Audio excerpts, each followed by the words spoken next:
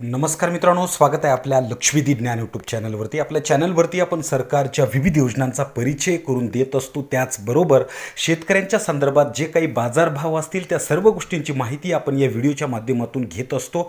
त्याचप्रमाणे आज या ठिकाणी शेतकऱ्यांसाठी अत्यंत महत्त्वाची माहिती तुमच्यासमोर घेऊन आलो आहे त्यासाठी व्हिडिओ शॉर्टपर्यंत पाहणं आपल्या चॅनलवरती जर तुम्ही नवीन असाल तर प्रथमतः आपल्या चॅनलला सबस्क्राईब करा. मित्रांनो सोयाबीनचे बाजारभाव हमी भावापेक्षा खाली का घसरले? याचं नेमकं कारण आज प्रत्येक महाराष्ट्रीय नागरिकांना समजणं अत्यंत आवश्यक आहे. महाराष्ट्रात सध्या लोकसभा निवडणुकीचे वारे वाहत आहेत पण सोयाबीनच्या भावाविषयी मात्र राजकारणी बोलत नसल्याची तक्रार शेतकरी करत आहेत. राज्यातील सोयाबीन उत्पादक शेतकरी सध्या चिंतेत आहेत आणि याला कारणीभूत ठरलंय ते सोयाबीनचे घसरलेले भाव. सध्या महाराष्ट्रात सोयाबीनला हमी भावापेक्षा कमी दर मिळत आहे आणि हा दर चार हजार तीनशे ते चार हजार पाचशे रुपये प्रति क्विंटल इतका आहे. पण मग सोयाबीनचे दर घसरण्याचं नेमकं कारण काय हा प्रश्न प्रत्येकाच्या मनामध्ये आला असेल.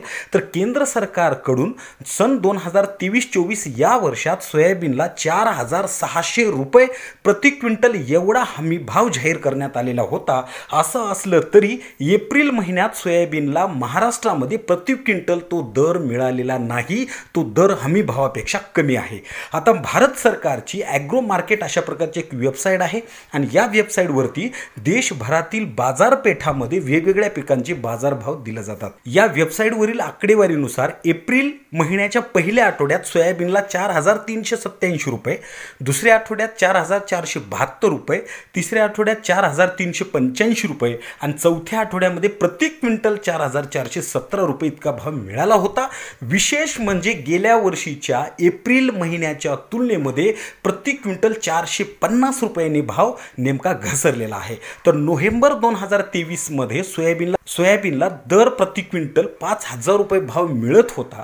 आणि महाराष्ट्र शासनाच्या कृषी विभागाच्या आकडेवारीनुसार राज्यात दस राज्यात सन दोन हजार तेवीस चोवीस या खरीपाच्या हंगामात पन्नास लाख चोपन्न हजार हेक्टर क्षेत्रावर सोयाबीनची लागवडसुद्धा करण्यात आली होती. त्यातून पंचेचाळीस लाख बहात्तर हजार मेट्रिक टन उत्पादन झालं.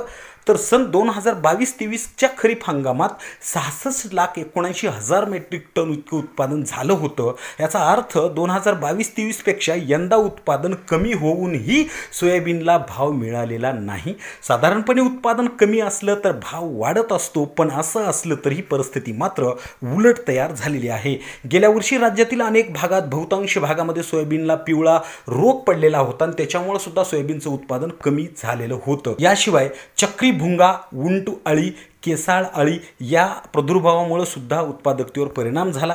सोयाबीनचे भाव हे सोयाबीन पेंड आणि सोयाबीन तेलावर अवलंबून असतात.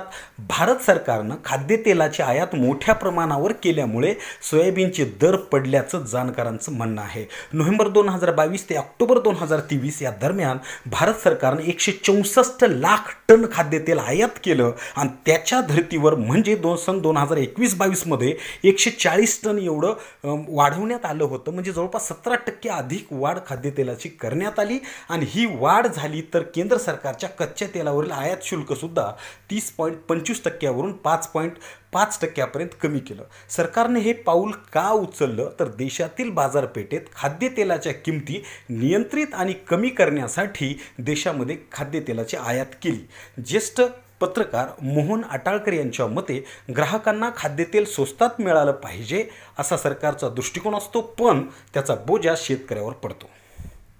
सरकारच्या खाद्यतेल आयातीतील धोरणामुळे सोयाबीनचं उत्पादन कमी होऊनही त्या तुलनेमध्ये त्याला भाव भेटू शकला नाही. त्याच्यामुळे शेतकऱ्याचा खर्चसुद्धा निघाली नाही अशा प्रकारची अवस्था संपूर्ण शेतकऱ्यांची आहे. मग या शेतकऱ्याचं नुकसान भरून निघण्यासाठी काही करता येऊ शकतं का? असं ज्यावेळेस चर्चा करण्यात आली त्यावेळी शेतमालाला हमी भावापेक्षा कमी दर मिळतो. त्यामुळे शेतकऱ्यांच्या शेतमालाला खरेदी करणं ही सरकारची जबाबदारी आहे. अशावेळी सरकारनं भावावर योजना लागू केली पाहिजे. हमी भाव आणि सध्या मिळत असलेला भाव यातील जो काही फरक आहे तो रक्कम ती रक्कम शेतकऱ्यांना दिली पाहिजे. त्यातून शेतकऱ्यांना थोडासा दिलासा मिळू शकणार आहे. त्याच्यामुळं भावानंतर योजनेअंतर्गत शेतकऱ्यांच्या मालाला कमी भाव मिळाल्यास सरकारनं त्याची नुकसान भरपाई दिली पाहिजे अशा प्रकारचं धोरणसुद्धा या ठिकाणी आखण्यात आलेलं आहे. त्यामुळं आज या ठिकाणी जर असा विचार केला दोन हजार चौदामध्ये सोयाबीनला प्रति क्विंटल चार हजार पाचशे रुपये दर मिळत होता. सन दोन हजार चोवीसमध्ये चार हजार पाचशे रुपये एवढा दर मिळत आहे.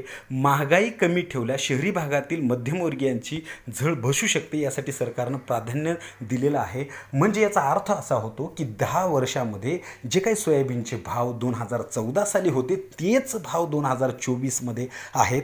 जर असा विचार केला तर शेतकऱ्यांना कुठल्या प्रकारे कुठल्याही अशा महागाईमध्ये शेतकऱ्यांना हा भाव योग्य वाटतो का? जर तुम्हाला या ठिकाणी कुठल्याही प्रकारचं जर कमेंट्स द्यायचं असेल कुठल्याही प्रकारचं मत मांडायचं असेल तर नक्की आपल्या कमेंट बॉक्समध्ये आपल्याला कमेंट्स करा. हा व्हिडिओ जर आवडला असेल तर इतरांना सुद्धा शेअर करा. आपल्या चॅनलवरती तुम्ही नवीन असाल तर प्रथमतः आपल्या चॅनलला सबस्क्राईब करा.